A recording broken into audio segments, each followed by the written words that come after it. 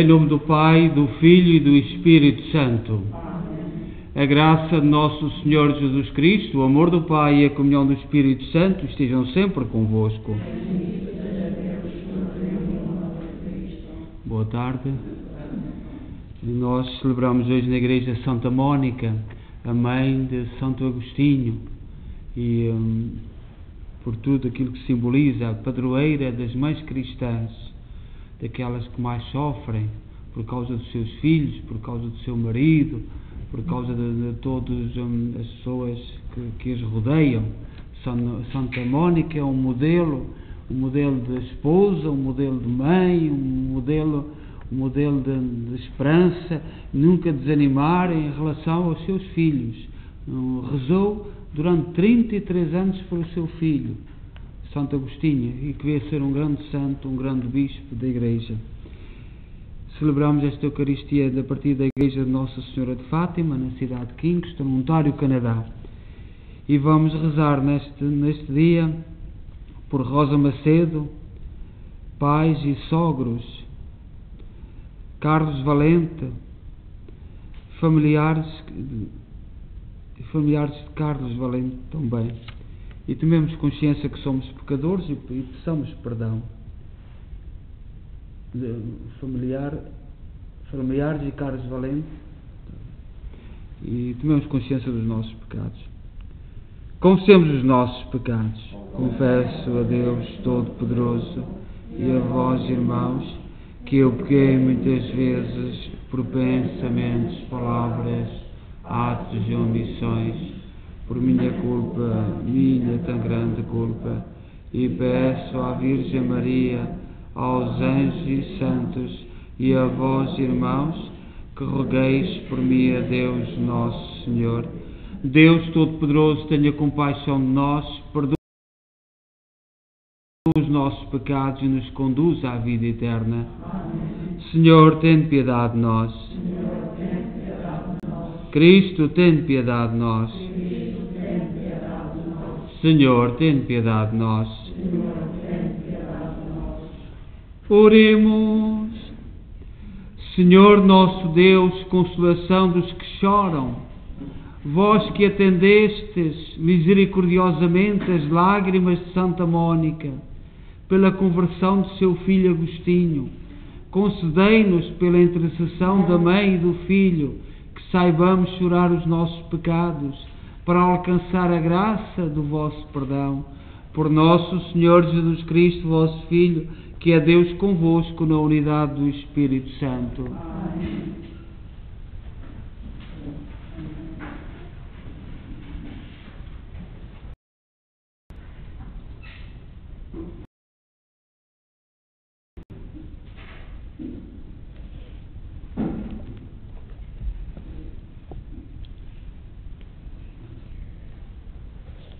Leitura do livro de Ben Sirá. Feliz o homem que tem uma mulher virtuosa, porque será dobrado o número dos seus dias. A mulher forte é a alegria do seu marido. Ele passará em paz os anos da sua vida. A mulher virtuosa é uma sorte excelente. É o prêmio dos que temem o Senhor. Rico ou pobre, o seu coração será feliz e o seu rosto mostrar-se-á sempre alegre. A graça da esposa diligente alegra o seu marido e fortalece-o a sua sabedoria. É um dom do Senhor a mulher sensata e silenciosa.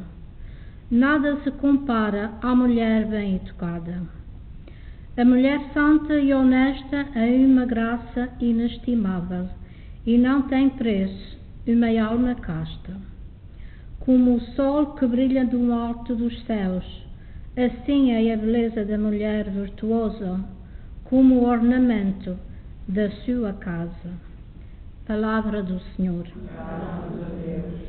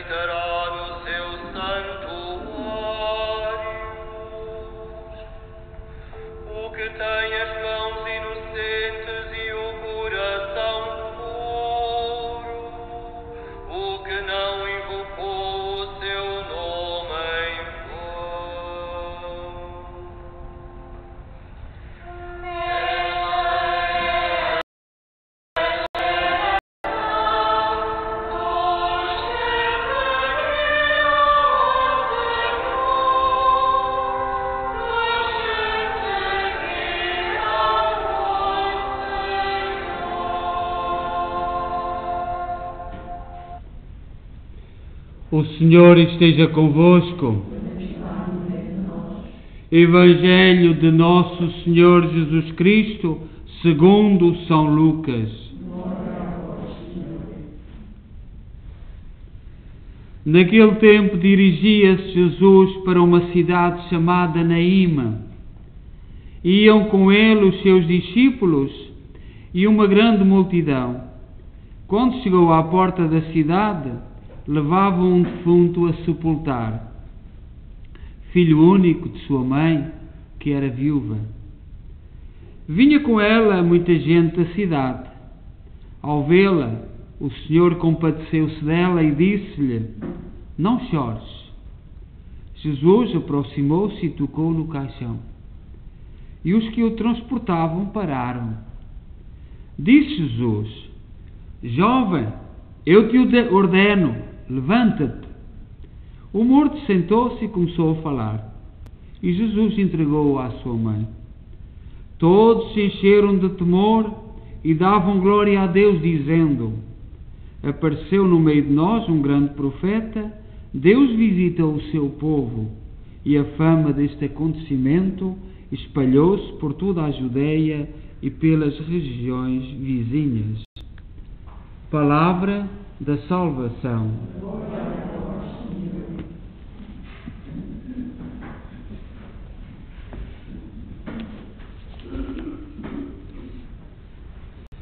Nós, como eu já disse há pouco, celebramos hoje a festa de Santa Mónica e no Evangelho que acabámos de ouvir, o Evangelho eh, tirado de São Lucas, capítulo 7, versículo 11 a 17, eh, há duas frases que sobressaem neste Evangelho. Eh, não chores para a mãe e hum, não chores, que Jesus diz. hum, e, eh, e, e vira-se para o jovem: Jovem, eu te digo, levanta-te. E nós hoje precisamos de continuar a dizer a tantos jovens para se levantarem. E desta manhã hum, abri a porta eh, da igreja, não me apercebi, eh, mas daí a bocadinho a polícia vem, estava ali um jovem, muito jovem, de 20 e, tal, e tantos anos, a dormir atrás dos arbustos, os vizinhos ali, a chamaram a polícia. E nós ficamos com o coração partido, ficamos com o coração muito triste, porque hoje a morte, a morte de tantos jovens, às vezes não é até ao cemitério. Hum, nós temos uma juventude parada, uma juventude sem, sem esperança, uma, uma juventude, como dizem os nossos políticos, muito bem preparada, mas sem horizontes, sem, perante a primeira, a primeira decepção, perante a primeira frustração, não são capazes de levantar a cabeça. E, hum, e, e este, este grito de Jesus, jovem, levanta-te, é um grito que nós precisamos, como cristãos, continuar a dizer. Porque ficamos sem saber como fazer. Hum, hoje, neste Evangelho, duas comitivas, hum, dois grupos de pessoas. Uma que acompanha à morte e outra que acompanha à vida. Essa é a vida. De um lado, a mãe com os seus, com os seus eh, amigos, com os seus familiares a acompanhar o seu filho ao cemitério, e do outro lado, uma multidão a acompanhar Jesus, cheios de esperança e acreditando nas suas palavras e, e com, com a, e com alegria. Portanto, duas perspectivas completamente diferentes. Uma pobre viúva, seguida por seus familiares e amigos, levava o seu filho ao cemitério e de repente vê a multidão que ia com Jesus. As duas comitivas cruzam e, e param. E Jesus diz à mãe que ia enterrar o seu filho: Não chores. E esta expressão, não chores, eh, continua hoje bem viva, está no, no Evangelho de, de hoje, capítulo, Lucas, São Lucas, capítulo 7, versículo 13. Não chores. E hum, todos ficaram olhando Jesus, que não permanece indiferente à dor e ao sofrimento daquela pobre mãe, mas pelo contrário se compadece e, de, e lhe devolve a vida ao seu filho. E é, e é que encontrar Jesus é encontrar a vida, pois Jesus disse, si, disse de si mesmo: Eu sou a ressurreição e a vida. Há um santo de Saragoça, espanhol, eh, São Braulio. eh, há muita gente em Portugal que conhece este santo. Portanto, Saragoça n- não é muito longe da nossa fronteira. E escreve assim: A esperança da ressurreição deve-nos confortar, porque voltaremos a ver no céu a quem perdemos aqui. E Jesus continua a ser esta esperança. Ele, ao dizer a sua ressurreição e a vida, é com muita tristeza que vemos partir aqueles que partiram, mas temos esperança que os vamos ver outra vez. Os evangelhos de- deste, destes dias hum, alertam-nos, porque nós, ainda ontem, o evangelho nos falava, nós não gostamos que nos falem na morte, porque nós queríamos ser eternos. Nós gostávamos de ser eternos. E às vezes agimos como se fôssemos, como tivéssemos essa hipótese. E quanto menos fé tivermos, mais agimos conforme a hipótese de sermos eternos, perpetuarmos. E às vezes só fazemos disparates. E, hum, e Jesus veio-nos dizer o que é a vida. O que é a vida? É isto. Isto tanto sofrimento, tanto, tanto, tanto, tanto, tanto desgosto. Hum, o que é a vida? Esta é a reflexão do cristão. Mas nós não gostamos de ouvir falar, não, ouvimos, não, ouvimos, não gostamos de falar da morte, nem que nos falem na morte.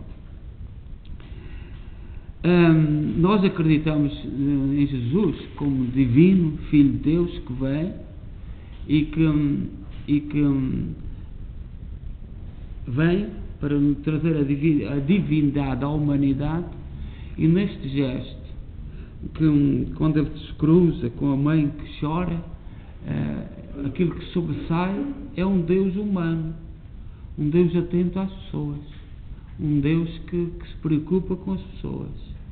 Portanto, é precisamente o contrário. Nós acreditamos na nossa fé que é Deus faz homem em Jesus Cristo para divinizar a nossa humanidade. E aqui neste gesto é um, um, um, Deus que, que se, se, torna humano, próximo daquela mãe, para, para, o, para lhe dar conforto. E neste dia, este Evangelho aplica-se a Santa Mónica. Santa Mónica é, é a padroeira das mães cristãs, é, dada em casamento muito nova. Nós, nós os mais velhos, os mais velhos, ainda conhecemos aquele, aquele, aquele tempo em que os pais combinavam os casamentos. Nós, os mais velhos, ou pelo menos, se não combinavam, davam assim um empurrãozinho para que esta boa família se juntasse àquela boa família e, e de um momento para o outro. De um momento para o outro, a sociedade é o amor, é o amor. As pessoas têm que casar por amor, por amor. E nunca houve tanto divórcio, tanta coisa como agora. É o amor. Continuamos a gritar pelo amor. Mas nós lembramos, Santa Mónica sentiu isto tudo na sua vida. Foi dada em casamento com um homem bravo, um guerreiro, com um temperamento muito difícil. Hum, a história diz-nos que, que, era um homem hum, muito, muito, muito, muito complicado. Uh, hoje, na oração da manhã, que fizemos de manhã, uma frase que Santa Mónica dizia: Quando ele chega, o meu marido chega e quer discutir, eu calmo. Quando ele, ele, ele começa a implicar, eu uh, começo a, a, cantar. Não é bem assim, mas é, portanto, ela encontrava uma forma de não de, de, da paz. Uh, apesar de saber que tinha razão, que a sua brutalidade, a sua, a sua, a sua, o seu radicalismo, que não, não tinha razão, ela dá um, um sinal de muita humildade para todas as mães que sofrem. E, um, e o seu filho mais velho foi um cabo, um cabo de trabalhos. Um cabo de trabalhos. Veio cedo para Paris para estudar, uh, Santo Agostinho, que era o mais velho, Agostinho, uh, era o, o, filho mais velho, um grande intelectual, um grande filósofo, que andou 33 anos completamente perdido. E, um, era tão intelectual, tão intelectual, que teve um, essa coisa agora dos jovens, o casamento. Ah, casamento, se não houver casamento, isso não interessa. Ele encontrou uma mulher da, da rua, eh, uma mulher da rua com quem teve um filho. E pôs toda a sua esperança no filho.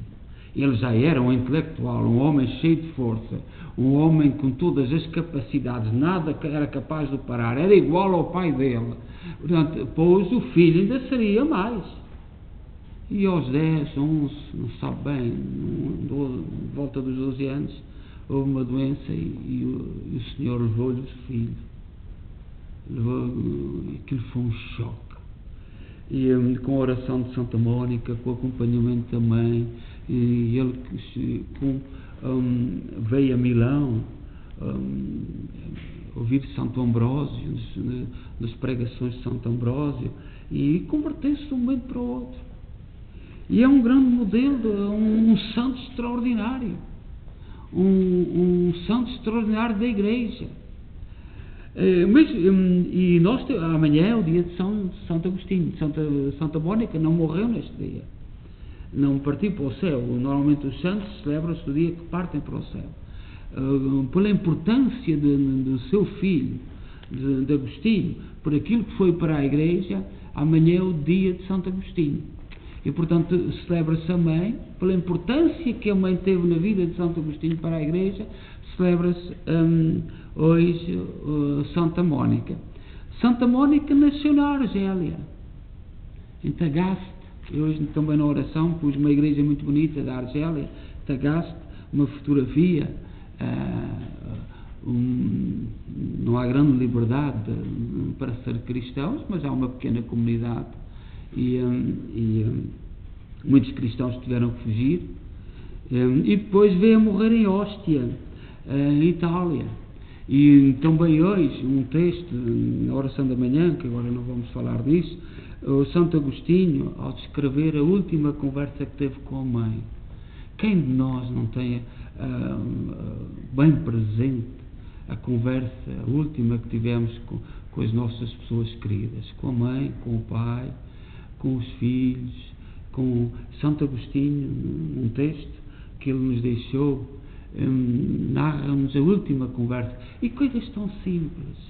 Os filhos estavam muito preocupados porque a mãe está, um, Santa Mónica estava em Itália e como é agora? Tens que ir para a tua terra. E a, e a resposta de Santa, Santa Mónica para os filhos. E é Santo, é Santo Agostinho que fala disso. E é para nós uma luz, até para nós, muitos imigrantes vieram, e no princípio, quem era? Aqueles que quando viemos, quando viemos, quem é que nós punha a hipótese de ficar por cá? Nenhum de nós. Mas depois a vida, vamos nos adaptando à vida e temos a mesma resposta que Santa Mónica teve para o filho, para os filhos, para os três filhos, três ou quatro, não se sabe bem, eh, às vezes a história, mas pelo menos três filhos eram e, um, e a conversa que ela teve com os seus filhos. Um, hoje, portanto, Santa Mónica é um modelo, de, é padroeira das mães cristãs, pela sua constância, pelo, pelo não desanimar. As mães não desanimam, as mães nunca desanimam. Uh, a mãe está sempre, está sempre no seu lugar e, e portanto, Santa Mónica é para nós uma referência e um modelo de ação de graças neste dia. E amanhã celebraremos então Santo Agostinho, um grande santo, um grande pensador, um grande filósofo, um grande teólogo, um grande bispo, um grande pastor, mas também um grande pecador. Não se nasce santo. Não se nasce santo. Fala, é uma luta. A santidade é um projeto. É uma conversão, é um caminho todos os dias. E Santo Agostinho é um dos mais modelos. Como o nosso São João da Cruz. O nosso São João da Cruz, que é tão grande, uh, foi roubado, raptado, foi vendido em Espanha. E uh, foi para a guerra, só fez, só fez as neiras. E um dia numa, numa, numa Semana Santa, ouvir uma pregação lá no fundo, que nem se atrevia a aproximar à praça onde havia o sermão do encontro. Foi através do sermão do encontro né, que, Santo, que São João da Cruz se encontrou com Deus. Portanto, os santos, ninguém nasce santo. Ninguém nasce santo, faz santo e, e, e a ultrapassar o, o, os, os, dramas da vida e buscando inspiração. Uh, quantas mães que nós conhecemos que são iguaizinhas a Santa Mónica? Eu não, não, quero que vocês digam, nem quero que vocês digam, eu sou igual a Santa Mónica. Mas, mas quantas mulheres nós podíamos dizermos assim, são iguaizinhas a Santa Mónica a luta, a constância, o amor, a dedicação, o estar presente, o não abandonar, um, assim, iguaizinhas. Tanta a, inspiração que Santa Mónica é. Então, que o Senhor nos, nos louve e hoje que celebramos um, nove dias antes da festa do Senhor Santo Cristo dos Milagres, no final, depois da comunhão, rezaremos esta pequena oração que está aí. Que, ao Senhor Santo Cristo dos Milagres.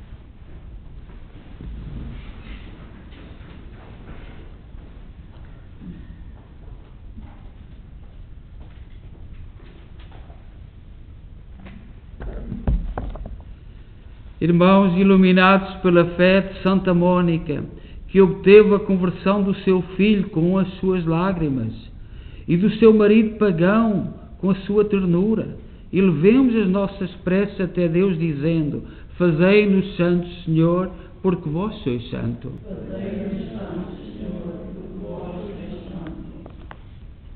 Para que a Igreja, animada pelo Espírito Santo, seja testemunha da nova criação, inaugurada na Páscoa do Senhor, oremos.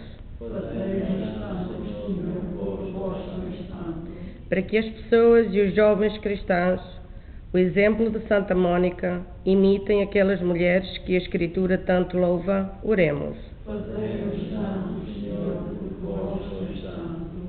Para que o Pai faça surgir na sua Igreja fiéis que acolham o chamamento de Jesus e se entreguem ao serviço do Evangelho, oremos. Para que o Filho de Deus e de Maria conceda a todas as famílias cristãs a graça de serem sinal de santidade, oremos. Para que a nossa Assembleia deste dia se reúna também na eternidade, para cantar ao Pai, ao Filho e ao Espírito Santo, oremos.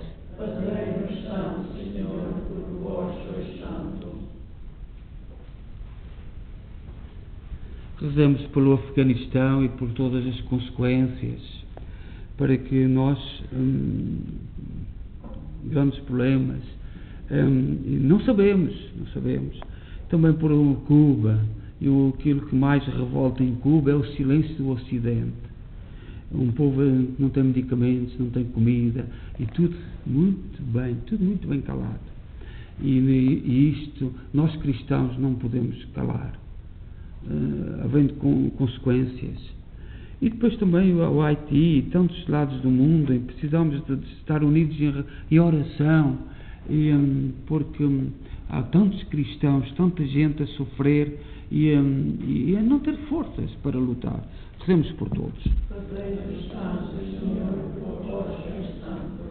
Senhor nosso Deus, escutai a oração silenciosa de tantas lágrimas que as mães e os pais choram por seus filhos e concedei-lhes a graça e a alegria de os ver regressar à sua igreja por Cristo nosso Senhor.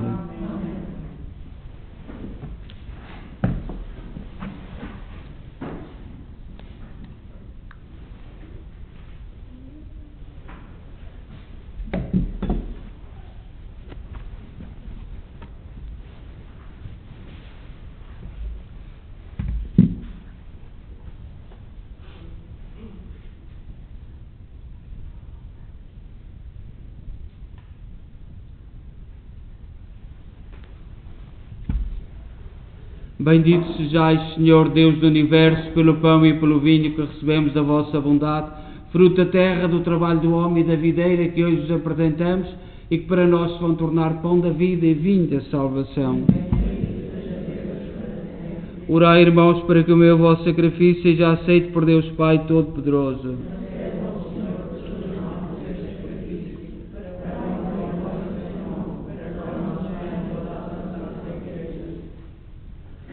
Oremos. Senhor, que pelo único sacrifício da cruz formaste para vós um povo de adoção filial, concedei à vossa Igreja o dom da unidade e da paz. Por nosso Senhor Jesus Cristo, vosso Filho, que é Deus convosco na unidade do Espírito Santo. O Senhor esteja convosco. Corações ao alto.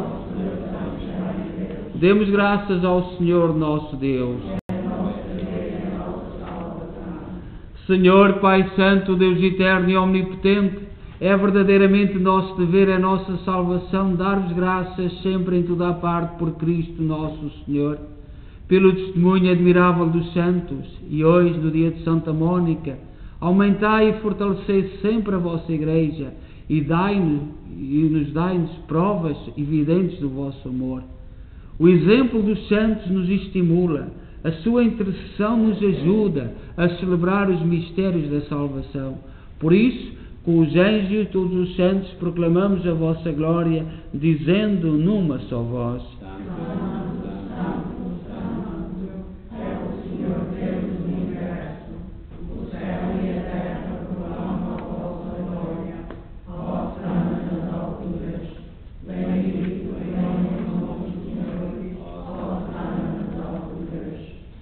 Vós, Senhor, sois verdadeiramente santos, sois a fonte de toda a santidade.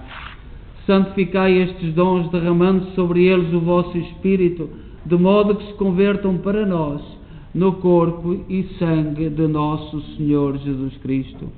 Na hora em que ele se entregava para voluntariamente sofrer a morte, tomou o pão e, dando graças, partiu e deu aos seus discípulos, dizendo: Tomai todos e comei, isto é o meu corpo, que será entregue por vós.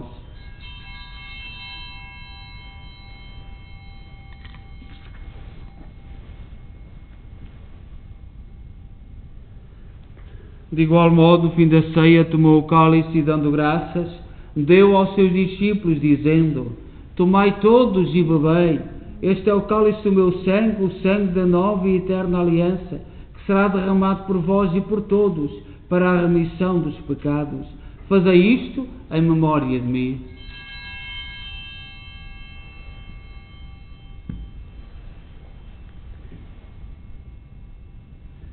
Mistério da fé.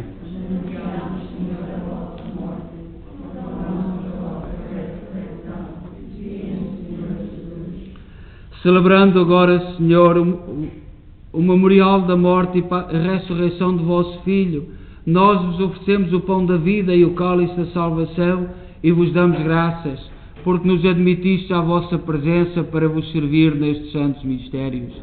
Humildemente vos suplicamos que, participando do corpo e sangue de Cristo, sejamos reunidos pelo Espírito Santo num só corpo. Lembrai-vos, Senhor, da vossa Igreja dispersa por toda a terra, tornai-a perfeita na caridade em comunhão com o Papa Francisco, o nosso arcebispo, Mike Mahal e todos aqueles que estão ao serviço do vosso povo. Lembrai-vos também dos nossos irmãos cujos nomes pronunciámos no início desta Eucaristia, que adormeceram na esperança da ressurreição. Todos aqueles que na vossa misericórdia partiram deste mundo, admiti-os na luz da vossa presença. Tendo misericórdia de nós, Senhor, Dai-nos a graça de participar na vida eterna com a Virgem Maria, Mãe de Deus, os bem-aventurados apóstolos e todos os santos, que desde o princípio do mundo viveram na vossa amizade, para cantarmos os vossos louvores por Jesus Cristo, vosso Filho. Por Cristo, com Cristo, em Cristo, a vós, Deus Pai Todo-Poderoso, na unidade do Espírito Santo, toda a honra e toda a glória, agora e para sempre. Confiantes ousamos dizer a oração que o Senhor nos ensinou. Pai nosso que estais nos céus, santificado seja o vosso nome. Venha a nós o vosso reino, seja feita a vossa vontade, assim na terra como no céu. O pão nosso cada dia nos dai hoje. Perdoai-nos as nossas ofensas, assim como nós perdoamos a quem nos tem ofendido.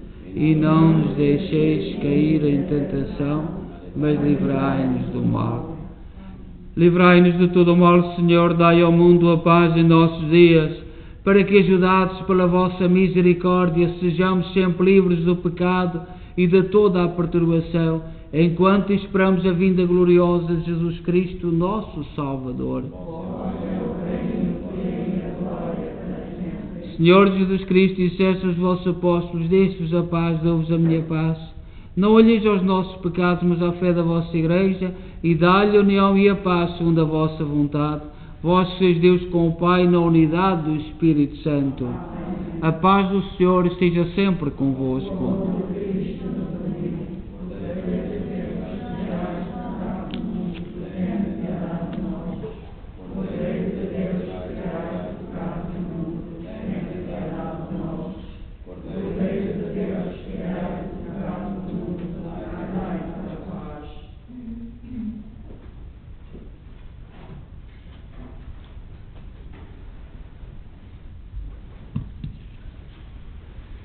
Felizes nós os convidados para a ceia do Senhor. Eis o Cordeiro de Deus que tira o pecado do mundo.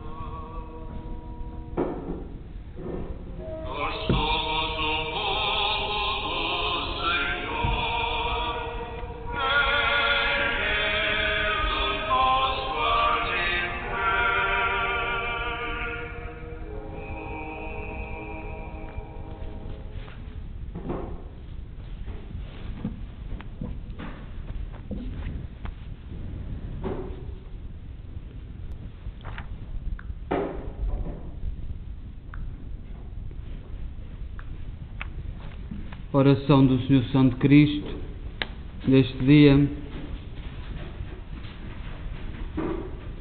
E é por essa razão que nós temos estado, rezamos aqui dois dias a Eucaristia para a semana. Para a semana será ornamentada a capela e, e pedimos que quem tiver flores faça o favor. A partir de terça-feira, terça-feira, agradecíamos que trouxessem as flores, que, que pudessem, mesmo quem está em casa, ainda acompanhar-nos. Portanto, na terça-feira, uh, que as flores estivessem aqui, terça e quarta, porque é a quarta que vamos fazer ornamentar a capela e depois um, uh, faz visitas durante a semana do São Santo Cristo. Quem tiver flores, faça o favor e a gente sabe que os quintais estão todos bonitos para aí, que o tempo tem estado bom. Então vamos rezar a nossa oração ao Senhor Santo Cristo dos Milagres.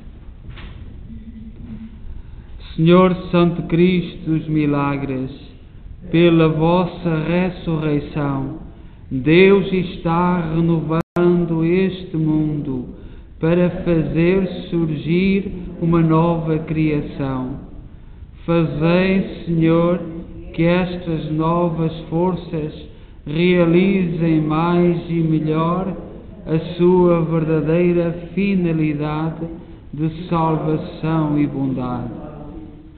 Eu te agradeço todos os benefícios que nos tens concedido e afasta de nós todas as barreiras que impedem a comunhão, a justiça, a verdade, a paz e o amor.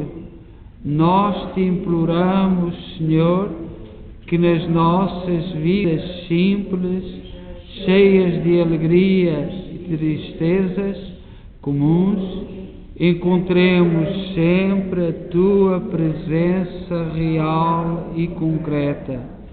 Por nosso Senhor Jesus Cristo, na unidade do Espírito Santo. Amém. Oremos. Senhor nosso Deus, consolação dos que choram, vós que atendeste misericordiosamente as lágrimas de Santa Mónica, a padroeira das mães cristãs, chorou pela conversão do seu filho Agostinho. Concedei-nos, pela intercessão da mãe e do filho, que saibamos chorar os nossos pecados, para alcançar a graça do vosso perdão. Por nosso Senhor Jesus Cristo, vosso Filho, que é Deus convosco na unidade do Espírito Santo.